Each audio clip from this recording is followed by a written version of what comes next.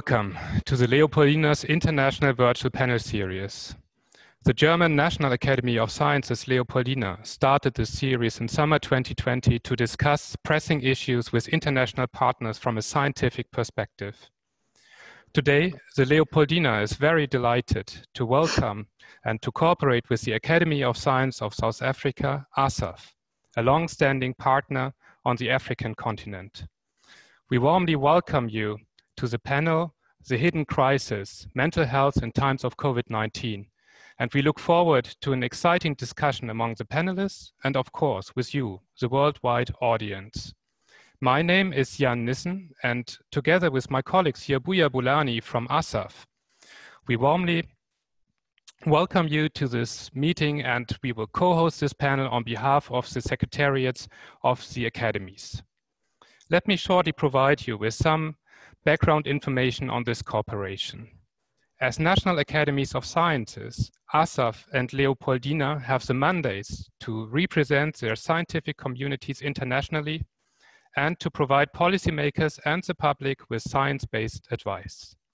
But let me also announce some very few technical details regarding the panel. As you know, we use Zoom. Below, you can find the Q&A, the question and answers feature. We will be happy to receive your questions to panelists throughout the live event, and we will have a chance to present your questions to the speakers in the second half of this coming hour. Please only use the Q&A um, channel to send us your questions. Siabuya and I will collect and present them. The regular chat feature is not available. And now I pass over to Siabuya. Uh, thank you very much, Jan. Uh, ladies and gentlemen, on behalf of ASSAf, I would like to welcome you to this topical panel discussion. ASSAf is very proud to host this webinar uh, jointly with the Leopoldina. The subject of mental health is of particular interest to both academies. This panel discussion follows an important symposium that was jointly hosted by ASSAf and the Leopoldina in South Africa in 2019, which was titled Global Mental Health in an Era of Sustainable Development, Research and Policy Priorities. The, the, the proceedings of which you can find on the ASSAf website, should you be interested in what in the discussion that took place in South Africa. Without wasting any time, I would like to uh, welcome and introduce uh, today's uh, moderator, uh, Professor Rietschel. Professor Rietschel is a psychiatrist, a clinical geneticist, and the scientific director of the Department of Genetic Epidemiology in the psychiatry at the Central Institute of Mental Health in Mannheim in Germany. Her area of research is on genetic and environmental risk factors for psychiatric diseases with a focus on affective disorders, schizophrenia, and alcohol dependence. She also investigates ethical, legal, and social implications of psychiatric genetic research. Professor Rietschel has been a member of the Leopoldina since 2011. Just before I hand over to Professor Rietschel, I would like to ask the panelists to please uh, switch on their videos and their mics. Now over to you, Professor Rietschel. Hello, everybody. Heartily welcome to our um, panel, The Hidden Crisis, Mental Health in Times of COVID. Um, for the sake of time, I will directly go into topic and start. The severe acute respiratory syndrome, coronavirus 2, constitute in the first place a direct threat to physical health at the same time, the COVID-19 pandemic also endangers mental health of individuals around the globe. Already before the COVID-19 pandemic, mental health disorders such as affective disorder, anxiety, substance use disorders have ranked among the major contributors to global burden of disease. This implies the tremendous suffering of millions of affected individuals, their family, and friends. Depression alone, which is the main cause of suicide, for example, affects more than 300 million people worldwide. Relevant risk factors for the development of mental health disorders are distress, fear, loneliness, poverty, social inequalities, and experience of violence. These risk factors have risen massively through the COVID-19 pandemic, as well as through the actions taken against it. First study do actually report increases in depression, anxiety, and substance abuse, and the pandemic is not over yet. We should be prepared for the consequences and seek for means to act against short and long-term increases of mental health disorders. Doing so, we have to take into consideration that neither risk nor vulnerabilities are distributed equally across individuals and across countries and across continents. In this virtual panel, renowned speakers will discuss and analyze mental health in times of COVID-19 pandemic from the perspective of different countries and continents.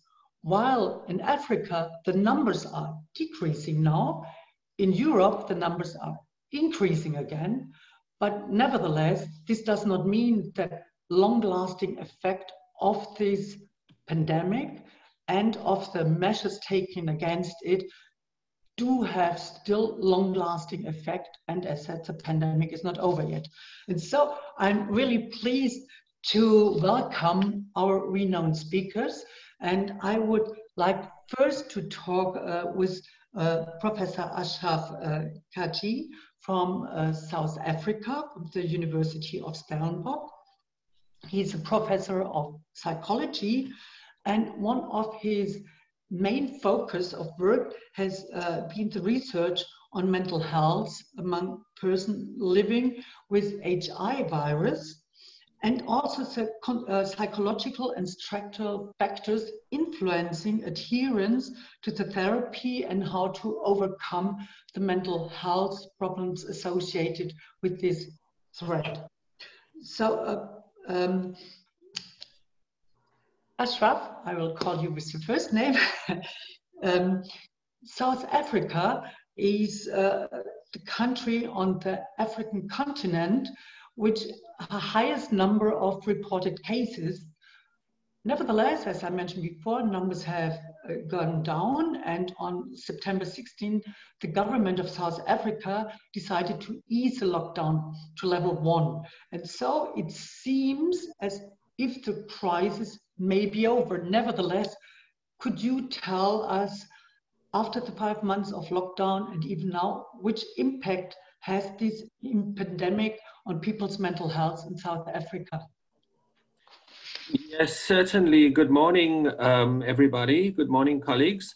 I do have uh, some slides which I can show. Um, I try to share the screen, um, but it says the host is uh, disabled participant screen sharing. I wonder if that could be enabled oh, so I the slides. This is, this is a pity. Actually, this was all meant to be only oral presentation. So oh, okay. are you able to just switch to oral? Absolutely. Absolutely. Yes, yes, yes. Okay, so what I'd like to do is first uh, talk about the baseline level of uh, mental disorders, the baseline prevalence of mental disorders. And in 2009, there was a, um, an important uh, prevalence study, the South African Stress and Health Study, uh, which provided some baseline data on uh, common mental disorders in South Africa. It was a national prevalence study um, where um, the prevalence of mood disorders was just under 10%, anxiety disorders was just under 16%, and substance abuse uh, disorders around 13%.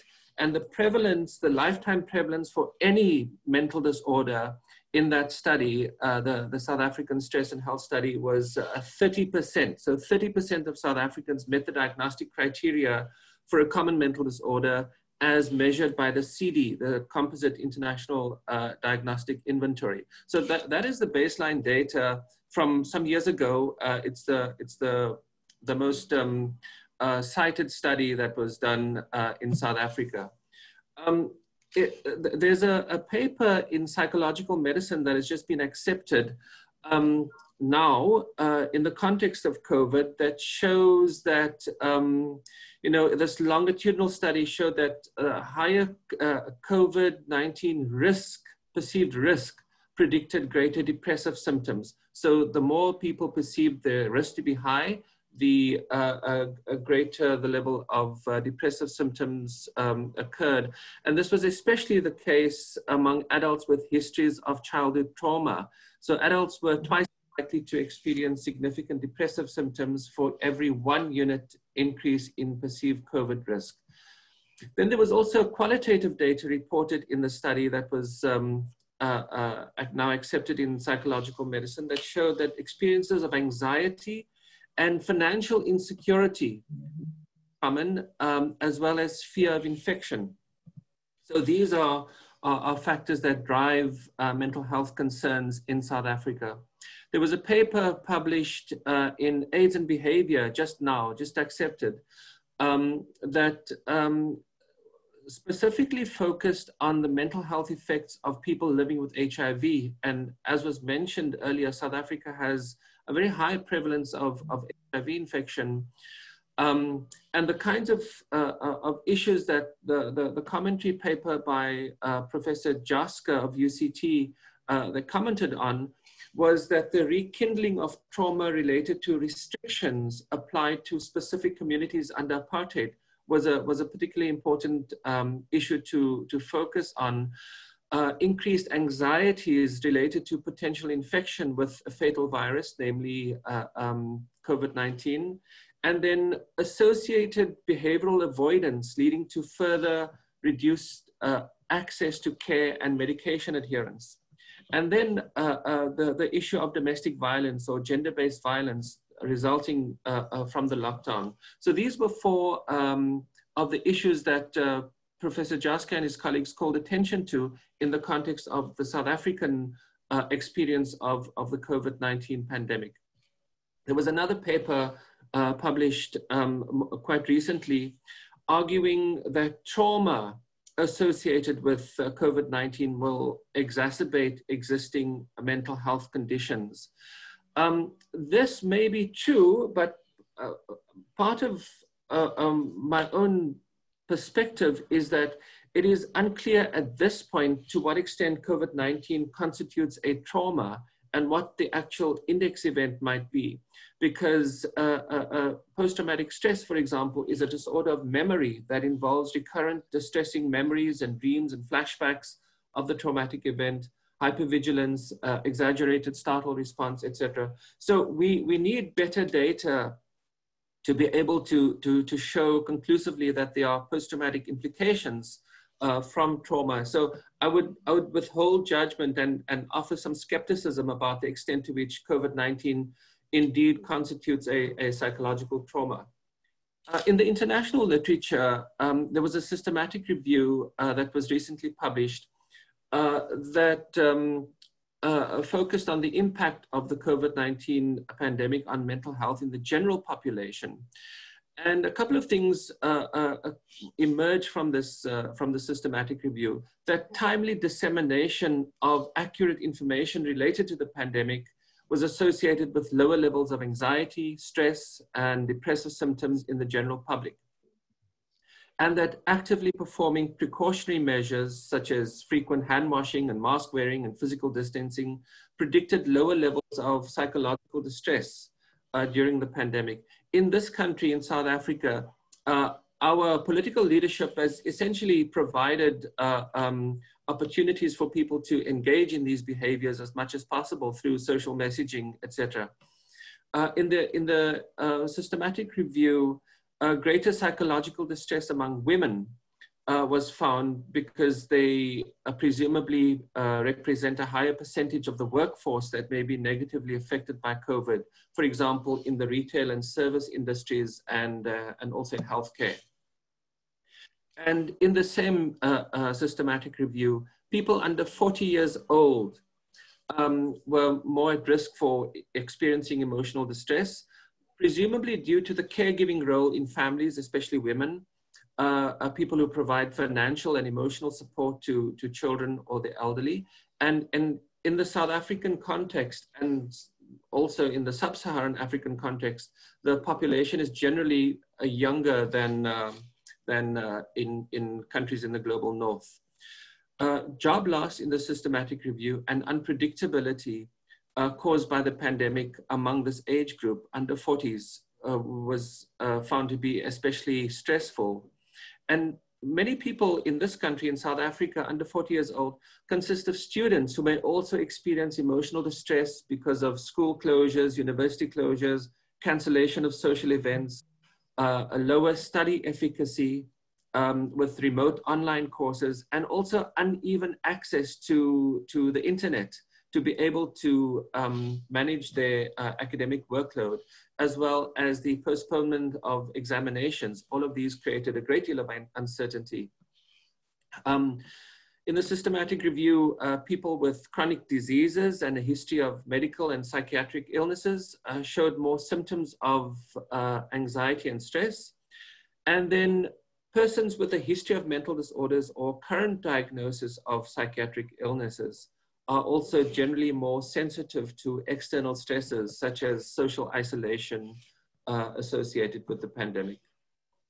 Then uh, there was also um, found exposure to social media news relating to COVID as a cause of anxiety and stress symptoms and frequent social media use, um, which exposes oneself to potential fake news and disinformation and the possibility of heightened anxiety. We had a fairly strictly imposed lockdown in, in South Africa, at the, certainly at the beginning, and it uh, gradually became more relaxed. But the strictly imposed stay at home order and the decrease in demand for services and goods uh, affected businesses and industries to uh, a very large extent, leading to unemployment and financial hardship and, um, and hunger, essentially creating the risk for developing psychological symptoms associated with economic anxiety. Our hospitality industry and tourism industries were especially hard hit. And so uh, among people working in these, uh, in these industries, there was um, a specific, uh, um, specifically high level of uh, emotional distress. Uh, there are of policy level interventions that I'd, I'd like to mention before, before finishing. Uh, one is attention and assistance to vulnerable groups, such as women, people under 40, college students, and people suffering from chronic psychiatric illnesses. And the second uh, policy level intervention is proper and timely dissemination of uh, COVID related information and validation of news reports concerning the pandemic. The third one is easily accessible um, mental health services especially for those who are in urgent need of psychological support and for people who reside in rural areas. Remote mental health services can be uh, delivered in the form of online consultation and hotlines. And there's some fairly good evidence to show that um, uh, uh, psychology, providing psychological services uh, through, the, through technology, um, can, uh, can have fairly good, um, fairly good outcomes. Uh, and then finally, monetary support. Uh, we have a large number of unemployed people living in South Africa, people who, have, uh, um, who are living under precarious uh, financial conditions. And so social grants, unemployment insurance, wage subsidies, and new employment opportunities um, might be provided to people who are experiencing financial hardship or loss of jobs owing to the pandemic. There's been talk about a basic income grant for uh, citizens in South Africa that can assist in ameliorating the financial distress associated with COVID, which of course has implications for uh, the national fiscus. So those are my, my comments, um, and I, I, I can stop there. Thank you. Thank you very much. This was very comprehensive and also answered a lot of questions which will raise later globally. So now I turn to Professor Berta Ausin. She is professor at the Faculty of Psychology at the University Madrid, Spain. And uh, one of her major topic is the study of mental health of disadvantaged and vulnerable populations, among them homeless, disabled, elderly, and seriously ill persons. Um, Berta, now in Europe and almost in the whole world, Spain is the country uh, affected with the highest increased number now uh, increase of numbers in affected.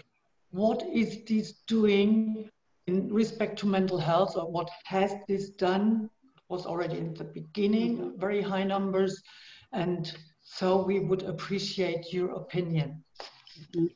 Good morning, uh, everyone, and thanks a lot for inviting me.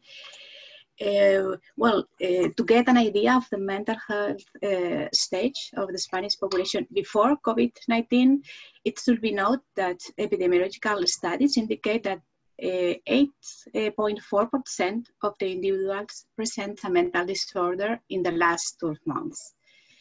Um, the most frequent mental health uh, disorder was uh, major depressive episode. And uh, as you just said, Spain um, is one of the countries, so the, the one of the most affected by the pandemic when it reached Europe, uh, leading the world in the number of infected and dead people. Um, there are currently uh, more than 700,000 confirmed cases in Spain uh, today and uh, 31,000 deaths, more than 31,000 deaths. As, as you all know, in Spain, a state of emergency was declared on uh, March 14, applying drastic quarantine measures to all citizens for almost uh, 100 days. So you, you can feel like um, how this can has consequences on our mental health. Uh, I was the principal investigator of the Psych-COVID-19 study conducted by our research team at the Faculty of Psychology of the Complutense University of Madrid. And our study is uh, the first Spanish study that has evaluated the effects of the pandemic and alarm situation on psychological health in the general population in a longitudinal way in three moments. So after two weeks of the beginning of the confinement, I, at a month and after two months with the beginning of the disconfinement and return to the new normality. So we, we evaluate uh, with a sample of uh, 3,480 uh, persons. Um, and we follow up uh, this sample and, and we found in the second um, time uh, 1,041 people, and uh, the, in the third assessment, 569 people. Well, I, I, want to tell you that the presence of depressive symptoms, um, anxiety, and post-traumatic stress, uh, uh, stress disease was evaluated by means of a screening test, and we found that the 18.7% of the samples reveal depressive, 21.6 anxiety, and 15.8% uh, post-traumatic stress disorder symptoms.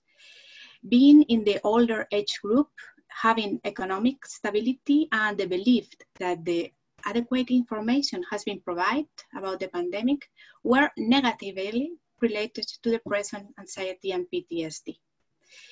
However, uh, as in other uh, studies, female gender previous diagnosis of mental health problems and having symptoms associated with the virus, so, or those with a close rel relative infected, were associated with greater symptomatology in all three variables. Depressive, uh, depressive symptoms increased uh, significantly, significantly throughout the confinement, decreasing at the last assessment, but not dropping to previous levels. In anxiety symptomatology, there are not significant change between the three evaluations, but a downward trend can be seen over time. And regarding the symptomatology of PTSD, a downward trend is also observed throughout the three evaluations with significant, significantly lower scores between the first and three and third assessment. So in conclusion, uh, this research shows that the pandemic has had a negative impact on our mental health, which also it has improved with the passing of the emergency, still does not seem to be at pre-crisis levels. These results underline the importance of paying greater attention to mental health. And also I would like to say just one sentence about the gender difference, we analyze the gender related difference in psychological impact of confinement in Spain, and data show that in the first measurement, so after two weeks of confinement, women were the ones that suffered the greatest impact in all the variables studied. Uh, women suffer a greater impact from prolonged confinement also, and the longitudinal results these are consistent with previous studies. Um, and also we analyzed the age-related difference in the psychological impact, and we found the older age group, the, from 60 to 80 years, presented less depressive anxiety, anxiety and PTSD symptoms. So that's all. Thank you. Thank you very much, Berta. Um, I now turn to uh, Professor Oyewusi Gureje from the University of uh, Ibadan in Nigeria. He is professor of psychiatry and director um, involved in neuroscience and substance, into, uh, sorry, substance abuse. And he's member of the WHO Collaborating Center for Research in Mental Health.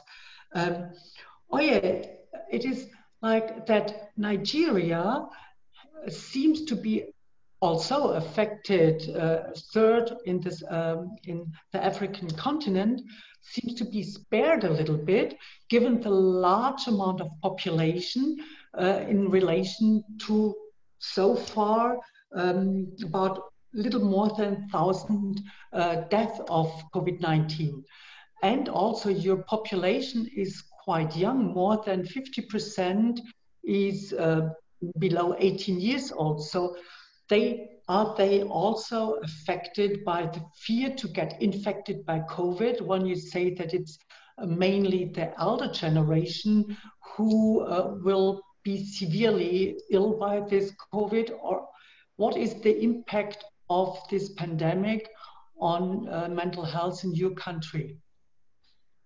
Yeah, thank you very much. Uh, good morning, everyone. Um, well, I'm really delighted to be uh, a part of this uh, very topical uh, roundtable discussion. I think this is coming at a really very good time um, because uh, we don't really, uh, where everyone, everywhere in the, in, the, in the world, we're still very much in the, in the midst of the pandemic. And uh, in some part of Africa, we don't actually know what part of the curve we are, whether we are climbing or we are still flattening the curve or whatever. Um, I will, I think you, you, you asked the question in the, in the most appropriate way, setting it in the context of the demography of Nigeria. Uh, but let me start by uh, also uh, sketching out the uh, evolution of uh, of the pandemic in Nigeria because that's going to give a perspective about mm -hmm. what really is the uh, uh, mental health consequence or are the consequences that one can expect. Um, Nigeria had its first uh, reported case of COVID-19 or at least coronavirus infection early in February uh, 2020. And uh, by uh, February 28, we had five cases. If you compare that with what was happening in, in uh, for example, in the UK, where they had 18 cases at the time, we seem to be at about the same level with, uh, with UK. If I just use UK as an example of a place where the information is very much available here in Nigeria. As at today, uh, we have uh, just over 58,000 uh, infected persons. And as you mentioned, uh, just over 1,000 people have died as a result of the, of the infection. And if you compare that, for example, with the UK, where they've had more than 400,000 infected uh, people, uh, at, uh, where we started about the same level in uh, February, but they have really experienced uh, what you might call a storm, a storm in, in the way that this uh, uh, pandemic has evolved in that country. But in Nigeria, it's been drip, drip, drip, uh, coming uh, uh, slowly, at least as far as the reported cases is concerned. And that has implications for the way that uh, we have responded as a country and also the way that one can anticipate the mental health consequences of uh, COVID-19 in the country. Uh, so at the beginning, for example, when, the, uh, when we had those uh, first cases, uh, there was widespread fear mm-hmm. about infection, about what's going to happen. And there was a lot of anxiety, a lot of, we might even call it panic uh, Nigeria went into the, the, the, lockdown, the first lockdown, early in April. And we had less than uh, 250 cases at a time. Uh, and the government started talking about palliatives and, uh, and, and, and, um, and so on. So that was the first um, pattern of response that we had. Then following that, uh, what were these uh, situations where we were now looking for solutions and explanations. And uh, so people might uh, remember there was widespread belief that maybe hydroxychloroquine might be might be the, uh, the, panacea for this. And then a lot of uh, buying and stocking of uh, hydroxychloroquine, a lot of panic around that. And then later on, uh, there was also information about Madagascar claiming that they have some a homemade cure for COVID-19. And then Nigeria also went around um, trying to procure some of, some of that from Madagascar. And a lot of misinformation and disinformation on, the, on social media, creating even more further, uh, uh, creating further panic and anxiety across the country. But as people saw the evolution of the pandemic in other countries, and saw that it really was not striking. It wasn't really you know, uh, evolving the way that they had uh, uh, been afraid of. And things started changing. Um, and so people started sort of uh, um, saying that maybe this wasn't really a, a, problem or maybe this actually was a, a hoax and that wasn't really a, an infection that uh, we, we, should be worrying about. It's probably not something that uh, had anything to do with us here. And so uh, but the government kept on uh, churning out some statistics. Um, those statistics are largely very unreliable, even the 58,000 or so people that I said might be infected now. It's based on very little testing. Uh, and so we, can't, we don't really know the extent of the problem.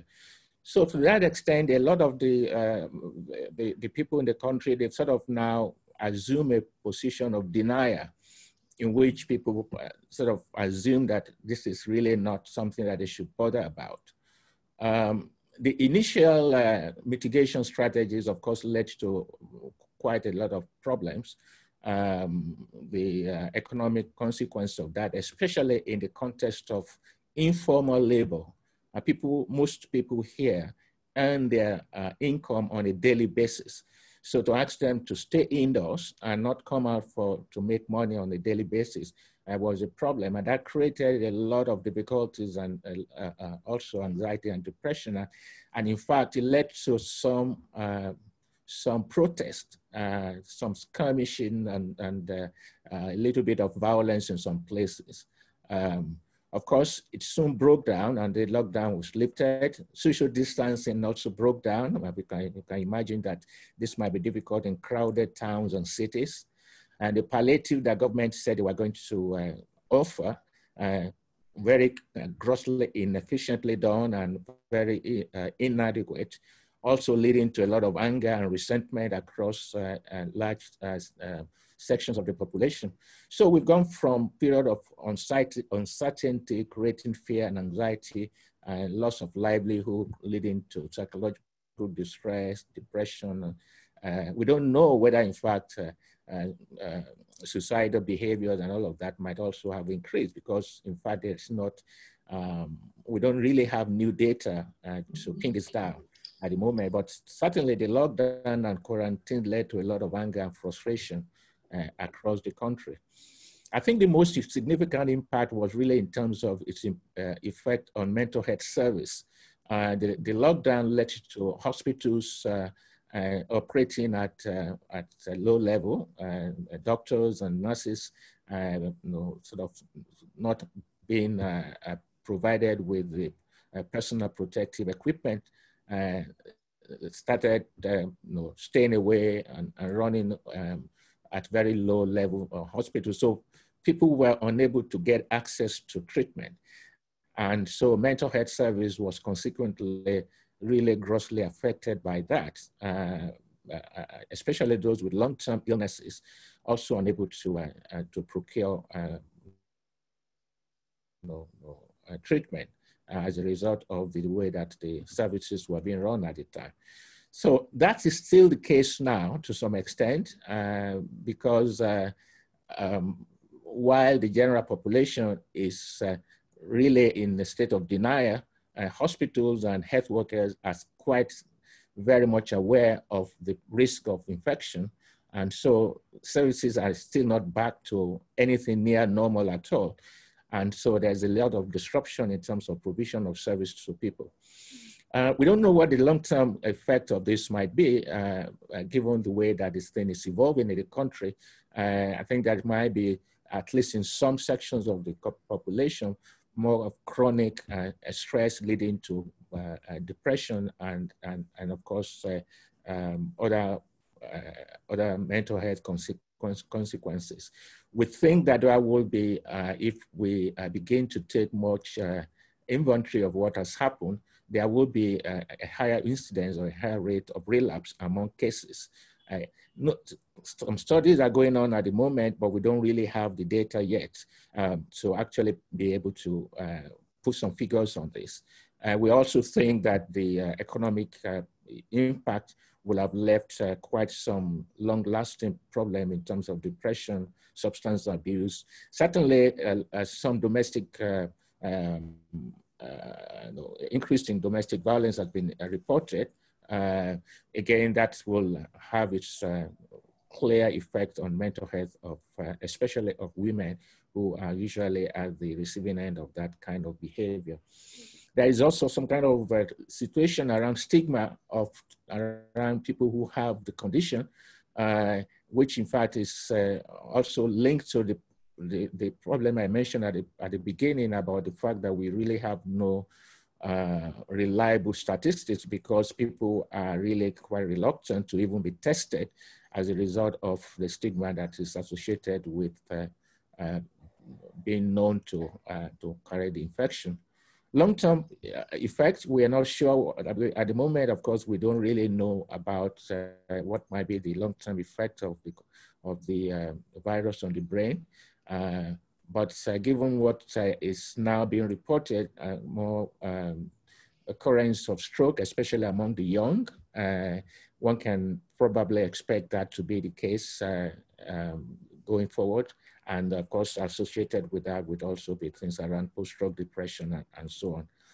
Um, so at the moment, the, the, the, the, general feeling you have in the country is sort of two sections of the community the very well, uh, the, the educated and um, very well informed are still very much conscious of the risk of this infection. Uh, the general population much, much less so, uh, sort of carrying on as if the infection is not really uh, a reality. Uh, and I think that the distribution of the effect of the, the, uh, the mental effect of the, of the virus is also reflecting that, that distribution in terms of awareness, more anxiety and panic and, and, and, depression among those who are aware and less so among those who are not. I think uh, that's by be the uh, summary of the situation in Nigeria at the moment. Thank you very much. Thank you very much, Oye.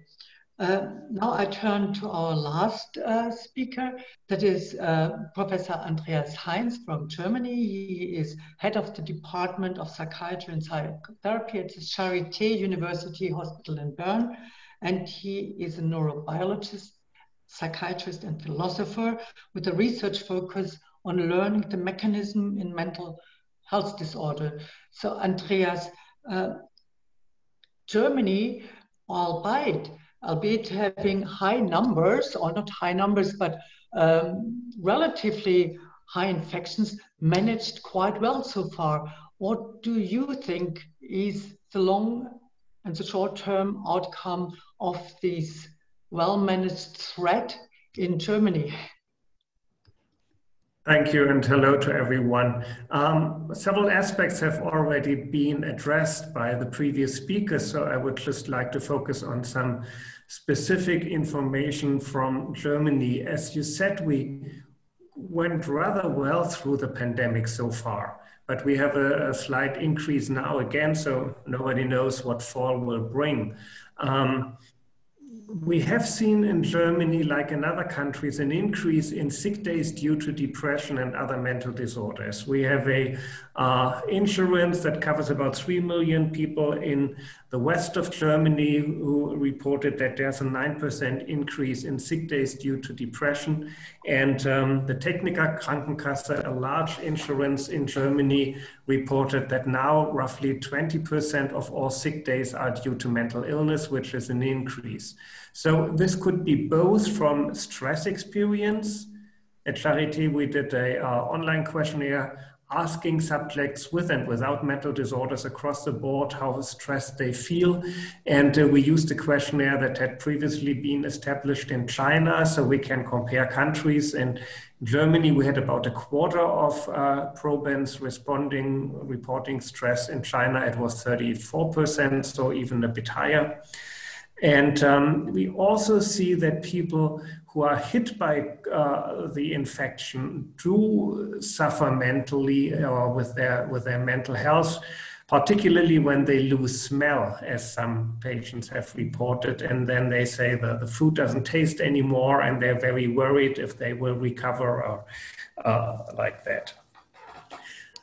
We do fear that both um, social isolation and poverty following could affect not only depression ratings but also suicide rates. So far, thank God, we haven't really seen an increase, but we know from Greece and from the um, strict measures imposed during the uh, financial crisis there that suicide rates went up with joblessness and with um, increasing amounts of death and poverty. So we hope that we don't see that in Germany, but it's still a problem. And I would like to address one specifically vulnerable group of patients that we see in the center of Berlin here quite a lot, that is homeless people. We have an increase in patients on acute psychiatry wards that have uh, no permanent home, that live in shelters or on the road. It's up to 30% of our patients on acute wards, with a, a variance in Berlin between 10 and 30%, but 30% is uh, what happens in the center here. And this is not only due to uh, patients living in Berlin for a long time losing their homes due to gentrification and increasing rents and um, legal problems when they have a mental disorder, for example, when they hear voices and shout out loud to, you know, um, blend these voices out and then they lose their their apartments. It's also due to um, people from Europe coming to Germany because here is uh, freedom of movement and some social aid that cannot be found in other countries. So, um, particularly from neighboring countries, we also have homeless people who also face language barriers to uh, mental health treatment, which is a uh, problem in itself. So here we've seen infections, which is one problem. And the other problem is that a lot of outpatient services were closed down during the height of the infection rates. And um, persons, patients who have a, a, home can also phone in or use video conferencing, but homeless patients do not have these facilities. At best, they could phone. And um, we are um, discussing with the insurances whether they pay phone contacts as much as video conferences. They would like to have an equivalent to personal meetings. We understand that, but we keep emphasizing that particularly for socially challenged and poorer parts of the population, the phone is often the only way to communicate with us. At this point, um, everything is mostly back to normal, but we still cannot, um, when we admit patients to the hospital, we cannot put them in uh, rooms for multiple patients. We have to keep single patient rooms. We are not really reimbursed for this anymore, so there will be some financial distress on hospitals to the end of the year, and hopefully we don't experience too much of that next year. And um, finally, we have carried out together with other societies for um, psychiatry associations um, information campaigns and try to provide information to um, caretakers on all levels of the German healthcare system. But we do see that what is kind of missing is a comprehensive account of how people cope with the situation and what socially or culturally or gender has been addressed already. Specific challenges are in there in this pandemic. We have uh, more local data in the moment than national data, but we hope that this will change soon. So maybe in a nutshell, that's the situation here. Thank you very much, Andreas. It was very uh, cohesive and um, still stunning that there's so many yeah, a group of persons in the healthy Germany who is suffering from this crisis so much. So I would have many, many, many more questions to you, but I've seen you already answered many of them, and a lot of them will remain unanswered, but we will also give our audience the possibility to ask questions. So I would just ask you if you could really in a nutshell, perhaps with in within one minute, say what do you consider the most important to fight mental health? What I know it's almost impossible, but what would you consider? I start with you, Andreas, because you're still just on. What would you consider the most important to fight the uh, mental health uh, consequences of this crisis? I think the largest part is on the communities, which have to solidarically support each other. And then, as, as professionals, we can um, ask people to be generous with each other, to not fight too much about interpretations of the pandemic and how dangerous this is, and whether the government does this or that step correctly, but just kind of um, emphasize this sense of at least during these months working together and trying to, to be tolerant towards each other and support each other. Thank you very much. Uh, what would you your advice be? Oh, you're muted, Berta. You have to unmute. Yeah. Yes. Well, I say I think collaborating in the treatment and recovery of those affected in the creation of social health spaces and rethinking the, fu the functions and tasks of primary care in mental health. Mm, that's all. Thank you very much. Uh, Ashraf, what would your uh, advice be?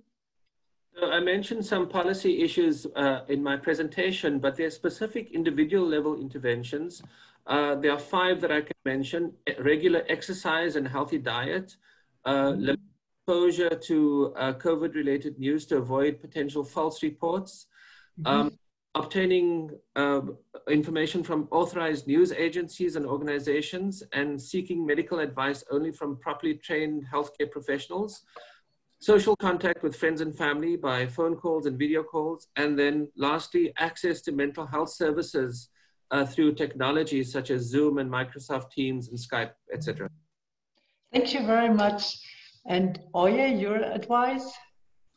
Yeah, a couple of um, things that we can do. One is um, uh, information sh uh, uh, sharing. I think people need information. They need to be very well educated about this and what, uh, how, how to avoid it and what one might do to uh, uh, seek assistance if one gets uh, infected or one gets any kind of a reaction or mental health problem. Secondly, I think um, in the context of the common problem that we expect, the common mental disorders, this can only be addressed if, uh, more if effectively at primary care level. So the uh, um, process of task shifting, which is the way in which we have tried to expand service, uh, given the, the, the, the, scarcity of specialists in our country anyway, it means that we need to empower primary care providers to be able to detect and treat uh, common mental health conditions that will be consequences of, of the COVID-19. And lastly, uh, just like the last speaker mentioned, there is now an opportunity to build on this largely unexplored um, resource of telehealth using all, all uh, various uh, platforms uh, uh, that, might be available uh, to deliver health to a large population. Now, COVID-19 is making that inevitable, unavoidable now, and I think we should now expand and, and build on it and see to what extent this can become a more, a better platform for delivering service. Thank you. Thank you very, very much. And um, now we will uh, take the question from the audience. Jan, you will present these to us. Yes, uh, uh, we have uh, quite a, a, number of questions, but maybe before I go to the questions, I'd like to indicate that uh, this webinar is recorded and for many of those who are interested in knowing if uh, there's going to be a video, indeed, uh, this will be shared on various appropriate platforms. So uh, there is a there is a question uh, to all panelists. Uh, it it goes: Is there evidence of the extent of psychiatric patients not assessing treatment during lockdown has led to committal of criminal offenses? So I would uh, hand over this question to Ashraf. Could you uh, I don't have any data uh, on on this, and I don't know what South African data exist.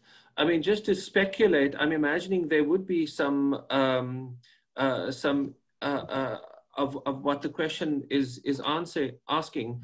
Um, uh, the lack of access to mental health services um, is a fairly ubiquitous phenomenon, and there is such a thing as a mental health gap the number of people requiring treatment and the actual uh, uh, level of services that are available and the two don't match each other. And so people do make their way into the criminal justice system as a consequence because of the inability of the mental health system to cope with the number of people requiring uh, uh treatment. Thank you. Can I yeah. say what about that? I, I don't, we, don't have any, any uh, data on that, but I will sort of turn it around and say, in fact, what is more likely is that will be an increase in victimization rather than an uh, increase in criminality because uh, persons with mental health conditions are often more at the receiving end of violence than actually perpetuating violence. Mm -hmm. Thank you very much for pointing this out. This is very important, especially with the stigmatization of psychiatrically ill patients. Uh, do we have further questions? Yes, actually, we have uh, various uh, further questions. Um, um, there is one question for Professor Heinz. And um, the spectator asked, uh, what kind of experience do you have with obsessive, obsessive compulsive disorder patients? Did it increase? Okay, that's an interesting question. And we were in contact um, as the German Association of Psychiatry with the self-help organization, the national one of OCD patients. And um, our suspicion was like the um, question asked, do you suffer more because you're more worried about infection? And the opposite was uh, reported to us. They said that finally the Germans are starting to wash their hands orderly, and uh, many OCD patients uh, feel relieved that there is some um, sense of hygiene now more widespread in the population. So this, these are the organizations, but also from patients with personal context, we haven't really experienced a big increase in fear and anxiety, rather uh, a certain normalization of hygiene concerns. Thank you. Sia? So we do have another question directed uh, to Prof. Kagee. Uh, Prof. Kagee, the question is, would you comment on how the process of mourning with cultural traditions have affected the psyche of people during the pandemic, given the restrictions imposed on funeral practices and traditions in South Africa? Yes, this is a really, really important question and, and, a, and a very relevant uh, uh, matter.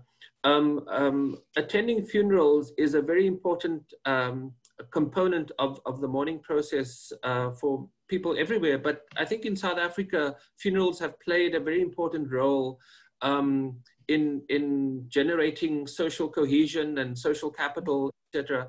During the apartheid era, funerals of people who were uh, uh, uh, killed by the apartheid forces was a, a, forum for activism as well. So um, not being able to attend a, a, a funeral plays a plays a, a, very important role in, in people's ability to mourn and grieve.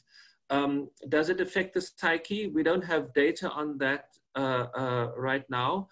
Um, I think it, it, will have implications for people's ability to um, engage with each other, to support each other, to provide social support and community support um, and to be able to say their farewells and goodbyes to their loved ones who have, who have passed on. So um, in all likelihood, it, it, has, it will have implications for individuals and families and communities. At funerals, people also, um, for example, would give a little bit of money to uh, uh, the family of the deceased person to provide some kind of financial support not being able to attend a funeral or to travel from one province to another to attend a funeral will limit the ability for people to receive uh, some kind of uh, financial support from their community members um, as well. So, so yeah, uh, to, to, to speculate in the absence of data, uh, I think there are going to be implications for how people manage uh, their grief and, and how people manage their, their, their social interactions. Thank um, you very much. I have another question for for Berta, and um, the spectator asked, um, "Are there any differences in dealing with the pandemics by, uh, psychologically between men and women?"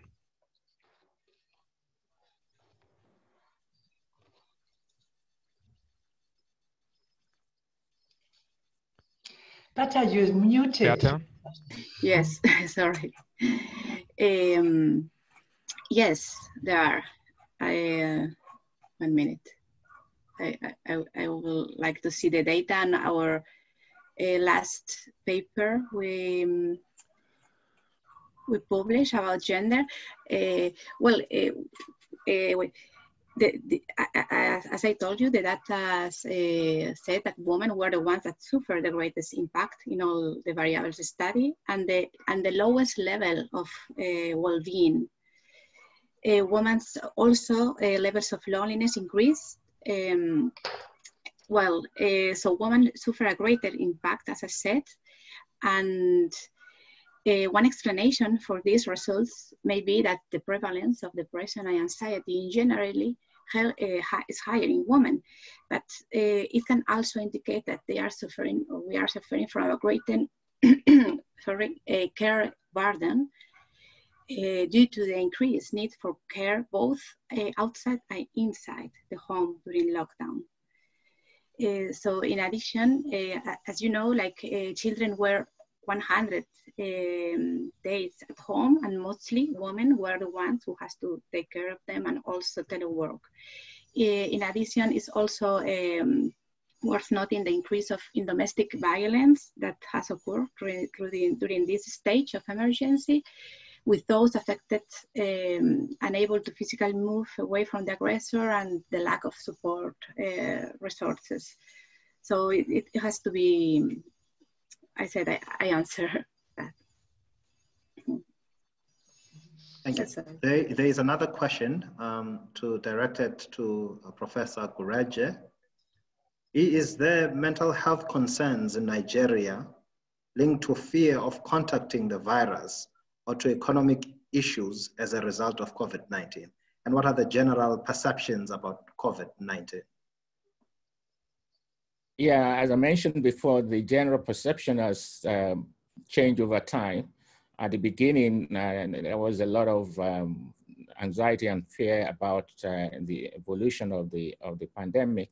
Uh, but as time went by and uh, people were seeing relatively uh, few uh, small numbers compared with countries in Europe, for example, the the um, perception about it started changing and a lot of disinformation, of course, misinformation also started uh, spreading around that this might not, this might not be reality, this might be a hoax and all of that. Um, so that's also um, that that's uh, reflected in the pattern of uh, mental health consequences. So at the beginning, a lot of anxiety uh, uh related to the to the uh, infection. The, uh, later on, when there was a lockdown, um, consequence of that was people were unable to earn their li a living, given the informal nature of the labor market generally, where people have to get a daily income. And so that led also to a lot of anger, frustration, uh, depression, and in fact, there was um, uh, protests and, uh, and, and, and, and some uh, incidents of, of uh, violence uh, until the lockdown was lifted. But at the moment now, you have that pattern that I described before, where the much more informed section of the community are still uh, very anxious and still very worried and, and, uh, uh, and then the larger section of the community much more in denial uh, of what's going on and so probably less likely to be anxious about this, the, the, the situation. Uh, but certainly the lingering effect of the economic problem, uh, because the economic problem is not just related to the lockdown, it also has to do with the fact that the economy itself is also uh, suffering and the price of oil went down and a lot of economic activities were affected and that has led to uh, uh, uh, increase in the level of poverty. So uh, one can expect, we don't have data about, for example, suicidal behavior and all of that, uh, but one can expect this to be the case. What we have data on, domestic violence, that's certainly going up. That might be a result of the frustration, but it can also be a result of the lockdown when people are confined, confined to a small space, uh, there might be more risk of uh, friction and, and, leading to violence. So yeah, that's the yeah, that's the pattern that one can infer uh, from what's been going on. Okay, thank you very much. Um, I have received a quite long question. I think it refers to to Professor Heinz. So. Um, um, I will try to summarize this question a little bit. Um, um, the spectator says, uh, as a specialist in trauma therapy, I have heard quite a few of my more severely, severely traumatized patients react similarly to how Professor Heinz described OECD, OCD patients, saying that they partly are also relieved and that now they are not so alone with their constant feelings of anxiety, anxiety which is also a, uh, which is also of relief to them. Um, also, many have been glad that keeping distance is now legitimate. Has any of you heard of similar reactions of people with severe post post-traumatic stress syndromes? Professor Heinz, maybe. Yeah, well, our feeling here is a bit mixed because some patients who um, have experience going out in Germany. There wasn't a complete lockdown, going out alone and uh, in the night and feeling uh, threatened in rather lonely streets. Um, it has been mixed, but generally, what uh, this uh, person recommended or, or stated, I think is quite true. We have seen a lot of social support in the first weeks of the pandemic.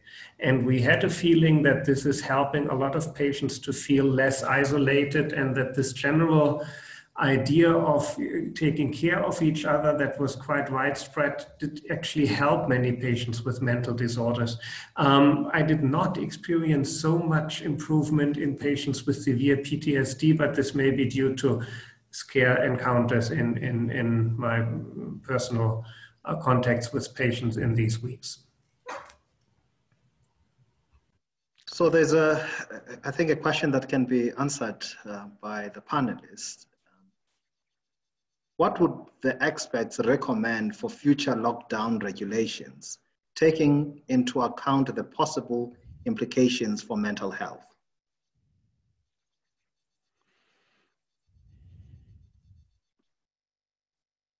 Well, I mean, a lot of uh, the um, the um, context of lockdown in in Africa, especially in Nigeria, anyway, uh, there was no provision for counseling, for uh, responding to the consequence of the lockdown, uh, even in the isolation uh, isolation centers and isolation wards and quarantine, these were done without uh, sufficient um, attention to the mental health consequence of those uh, of those uh, um, approaches.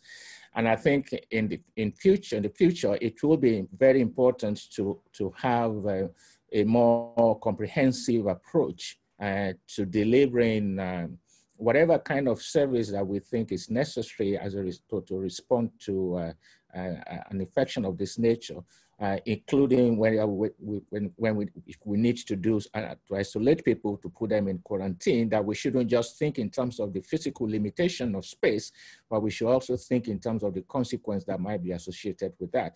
And of course, we've talked about the economic consequence of uh, of lockdown and uh, especially in the context of uh, people not having the, the sufficient formal palliative to cushion and the effect of the lockdown.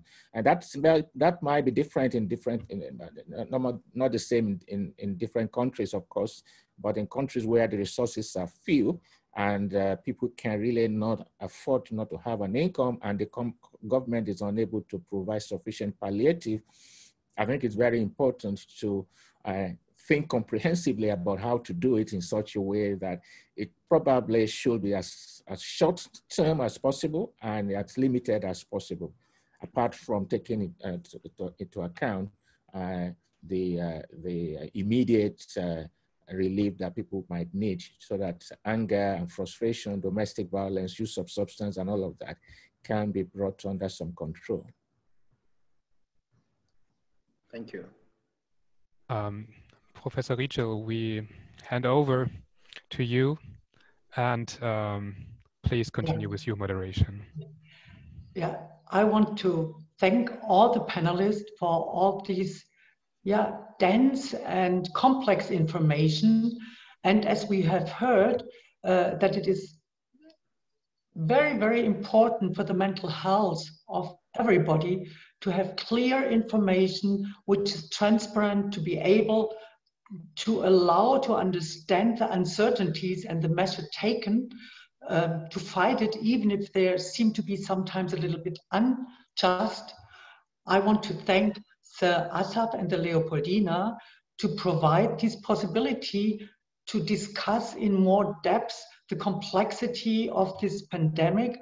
And I hope we will continue to do so for the best of um, yeah, of everybody, not only from mental health, physical health, and to help our um, politicians to um, find the right decisions and the people to stay healthy. Thank you very much.